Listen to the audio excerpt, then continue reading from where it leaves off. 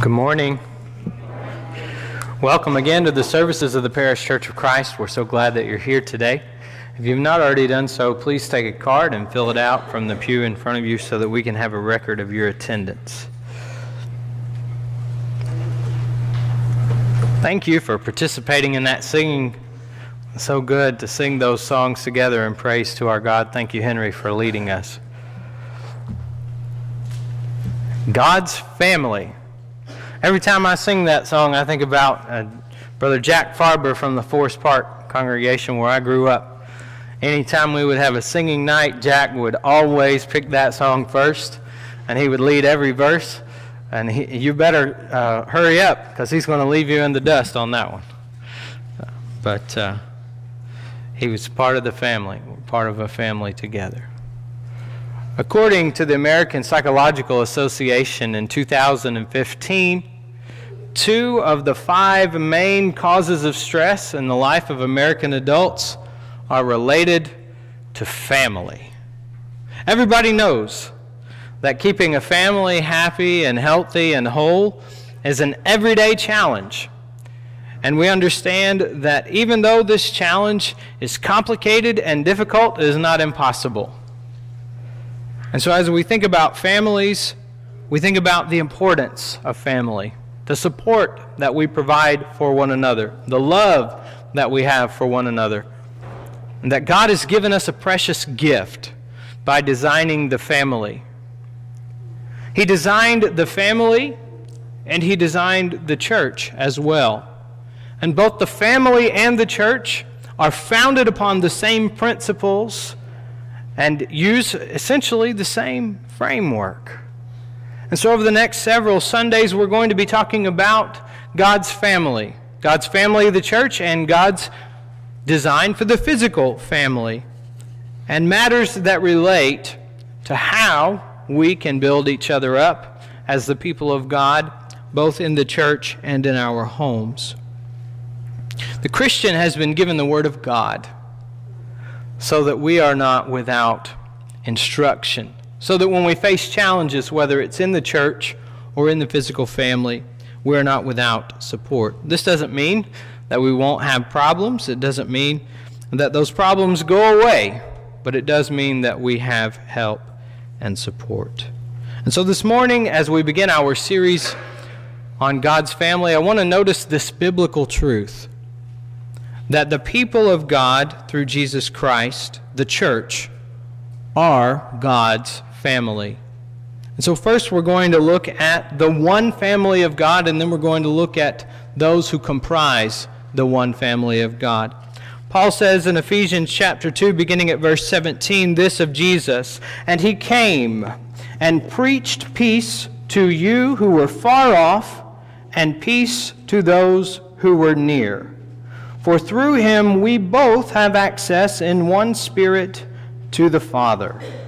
So then, you are no longer strangers and aliens, but you are fellow citizens with the saints and members of the household of God. Through Jesus Christ, there is one spiritual family. You know, people like to divide. We like to create barriers. We like to put up walls. We like to suggest that some are better than others. You know, I was thinking about uh, that very famous play, Romeo and Juliet. You're either a Montague or you're a Capulet. We like to divide. And it was no different in the situation that Paul addressed in the book of Ephesians. That there were those who believed that they were superior because they were of a Jewish stock, very similar in some ways to the conversation we've been having on Sunday mornings in our class on Galatians. But what Paul says here is whether you're a Jew or a Gentile, doesn't matter because God has made one family. He has made one spiritual family through Jesus Christ. Now, the fact that there is one means that there are not many. The fact that there is one means that not everyone is part of that family. In fact, according to the Bible, only some are part of God's one family. In the introduction to the Gospel of John, John begins by describing in a very poetic way, Jesus. In the beginning was the Word, and the Word was with God, and the Word was God. But he goes on to say that the Word came to his own in verse 11, and his own did not receive him. But, verse 12, to those who did receive him, who received Jesus, who believed in his name, he gave the right, Jesus gave the right to become children of God. Not of blood, nor of the will of the flesh, nor of the will of man, but of God. Now, what did John say? Those who received him, who believed in his name, he gave the right to become children of God. Not everyone received him. His own, John said in verse 11, did not receive him. Now, this is a very difficult truth because we just said God is not the one who divides. Man is the one who divides. Man is the one who likes to put up walls. Man is the one who likes to use labels. But God brought peace through Jesus Christ, peace that Jesus himself preached. But at the same time, even though Jesus came and he preached peace and he made peace through the blood of his cross, and created the one spiritual family does not mean that everyone has made the decision to be part of that family because not everyone has accepted Jesus. And that's difficult, isn't it? You know, when I was in college, I was studying with one of my classmates, and we were talking first about the authority of Scripture because this person had grown up in an environment where Scripture was not authoritative, where they did not believe that the Bible was the final word on spiritual matters, and so we began there. And I said, if a person doesn't accept and obey the Bible, they can't belong to God. Well, now, wait a minute. They said, what about the person in Timbuktu? What about those over the world who haven't heard of Jesus? And those are legitimate questions, those are difficult questions.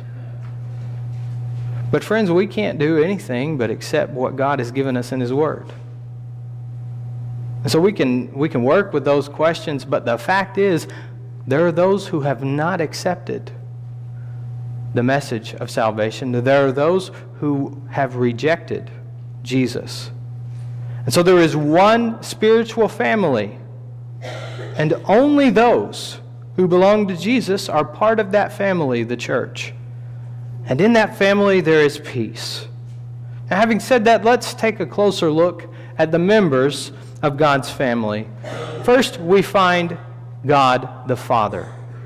God the Father. In Matthew chapter 23 and verse 9, Jesus says, Call no man your father on earth, for you have one Father who is in heaven.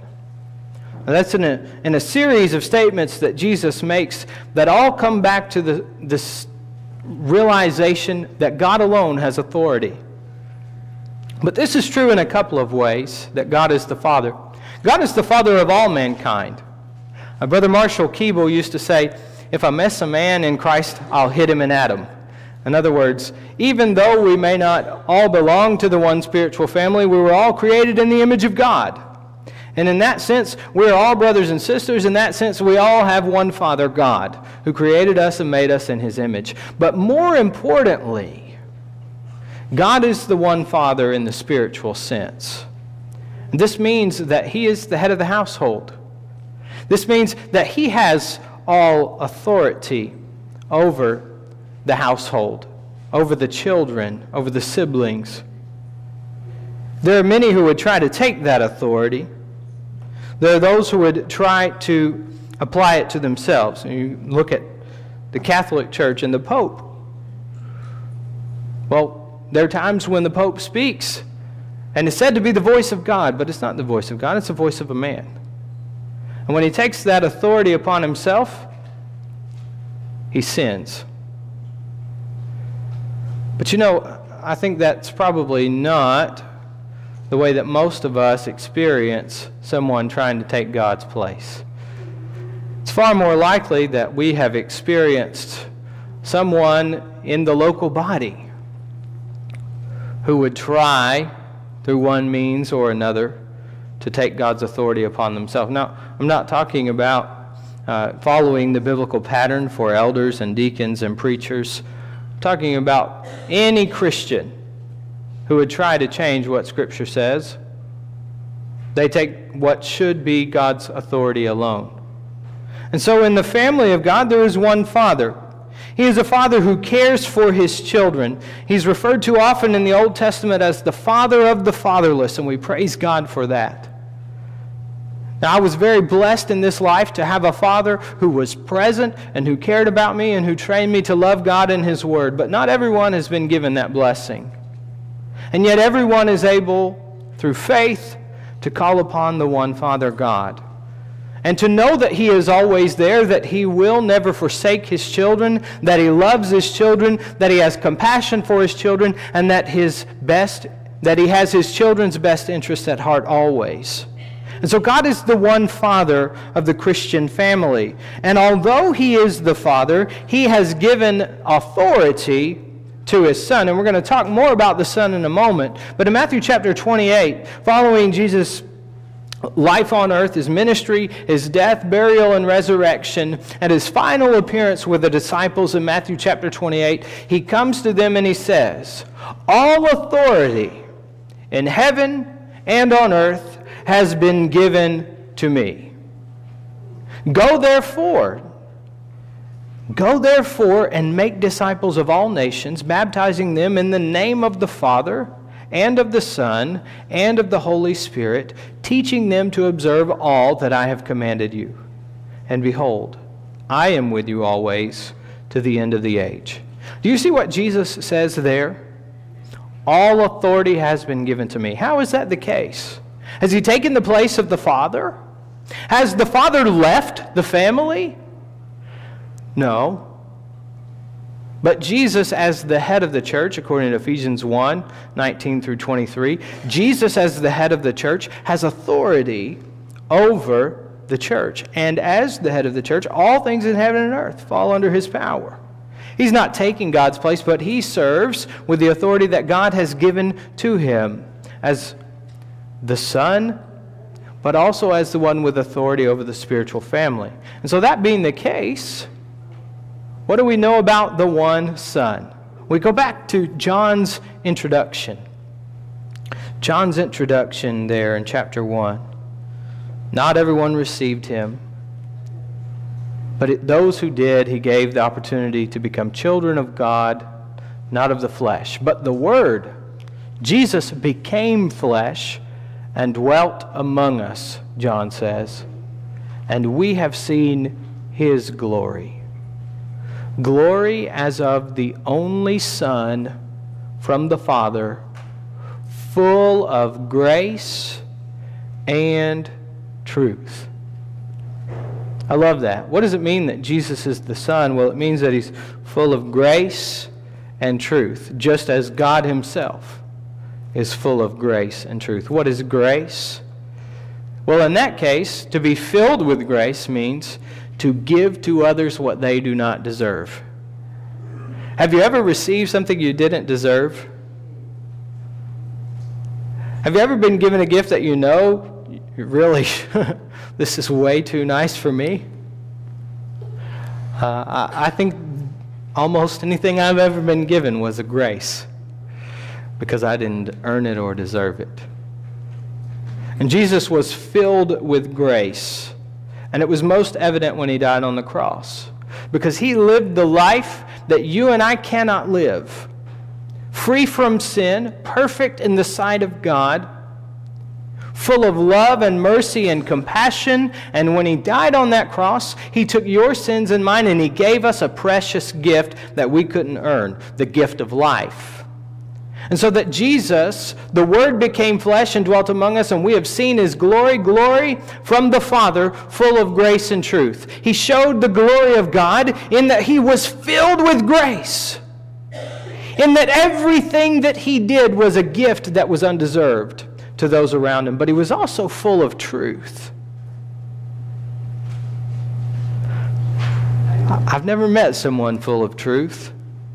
I've known a lot of good, honest people, but I've never met someone full of truth.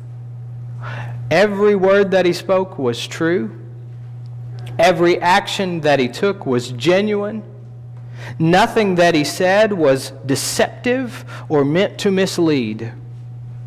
The Son of God is full of truth. And so when you open up this book that we call the Bible and you read what is written here, you can know without doubt that it is true. There is no question that what we have is God's truth, that it cannot mislead or deceive unless man takes it and abuses it. Jesus the Son gave and showed glory of the Father and from the Father because he, the Son, is full of grace and truth. And that we see most of all in the cross. But also notice this as the only Son, the one Son in the family of God, the inheritance is his. In Hebrews chapter 1, beginning at verse 1, the writer says, Long ago, at many times and in many ways, God spoke to our fathers through the prophets. But in these last days, he has spoken to us by his Son, whom he appointed the heir of all things, through whom also he created the world. Jesus is the heir of all things, the one who has the inheritance. Now, I'm not yet a father. One day I hope to be. But I think it's true that fathers would like to leave a valuable inheritance to their family. Now, valuable can be defined in many different ways.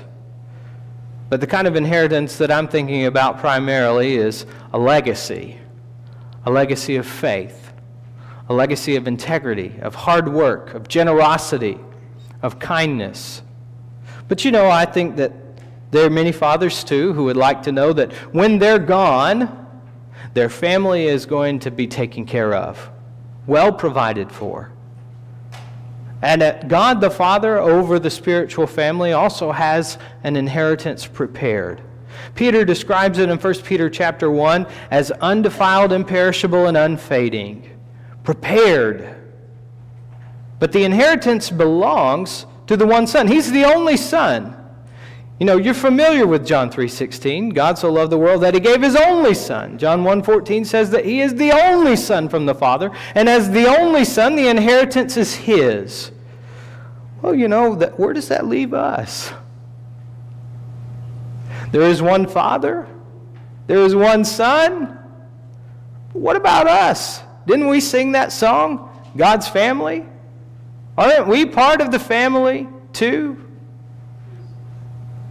Yes, because we've been given the right to be called children of God. And so I want to conclude here in the book of Romans, chapter 8. We're going to look at two sections here.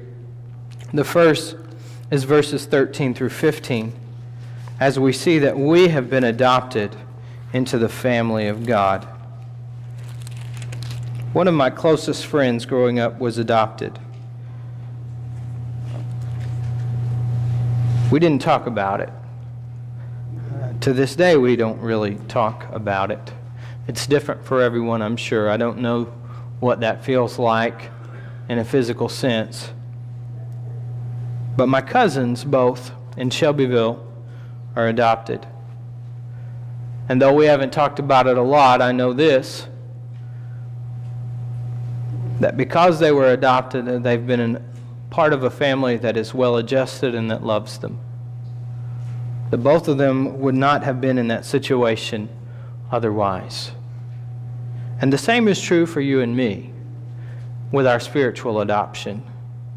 That if God had not adopted us spiritually, we would be in a terrible situation. But because He has adopted us, we are free from sin because he has adopted us, we have life and hope. This is what Paul says in Romans chapter 8, beginning at verse 13. For if you live according to the flesh, you will die. But if by the Spirit you put to death the deeds of the body, you will live.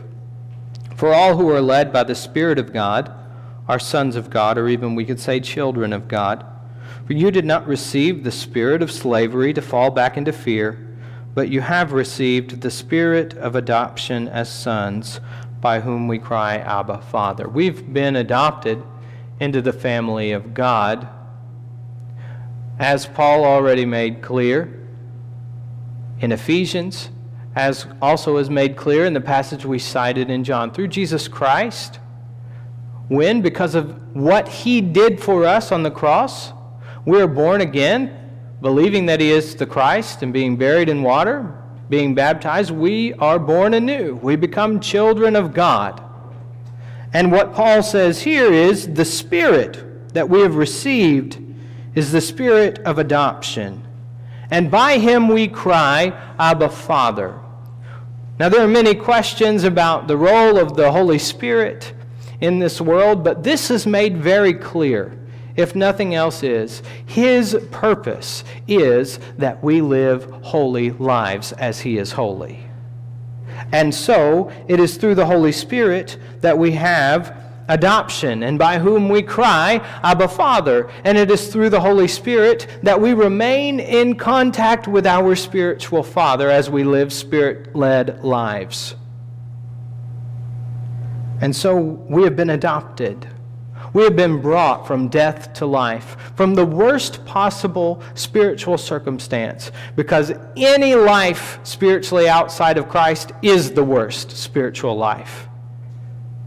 But within Christ, led by the Holy Spirit, we cry, Abba, Father. And therefore, as we have been adopted into the family of God, verses 16 and 17, we share in Christ's inheritance. Paul says, The Spirit Himself bears witness with our spirit that we are children of God. And if children, then heirs, heirs of God and fellow heirs with Christ, provided we suffer with Him, in order that we may also be glorified with Him. When Christ died on the cross, he demonstrated once and for all his love for all mankind and also the truth that he is indeed the Son of God. God handed to him all authority. And according to Paul in 1 Corinthians chapter 15, one, at one day coming, Christ is going to hand that authority back to the Father. And when he does, we all we all who are children of God through faith, having been born in the waters of baptism, we all will share in Christ's inheritance, an inheritance that will never fail or fade. Because God loved us enough to provide for us that gift. What a blessing it is to be able to say that we are part of God's spiritual family. What a blessing it is to know that we have a Father who loves us and who is willing to give his only true Son so that we could be called sons and daughters. What a gift to know that his one true Son gave himself so that we could be his brothers and sisters. And so we are part of God's family. And I don't know about you, but one thing that I look forward to most of all is the reunion that is to come. One day we will be with our Father, Christ our brother who gave himself, and we will all share together in an inheritance that cannot fail or fade. There is one spiritual family made up of the one Father, the one Son, and you and me, the adopted children. So, no matter what we may face here, we have the hope of a life together as a true family one day. Unless, of course, we have not yet received the Son. This morning, if you believe that Jesus is the Christ, you're willing to turn away from your life of sin and confess His name, we'd be glad to baptize you for the forgiveness of sins. You can be born into God's family. Share in the hope, share in the, in the hope of life with the Father, to receive the inheritance that Christ your brother died so that you could have. Or if you're a child of God and you need to confess some public sin, or if you just want to come forward so that you can be encouraged by your Christian family, you're welcome to come as we stand and sing together.